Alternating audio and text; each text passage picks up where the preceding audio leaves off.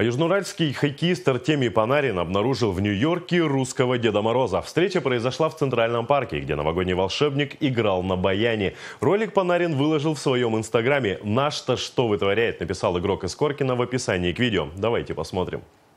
Очи черные, очи страстные, очень жгучие.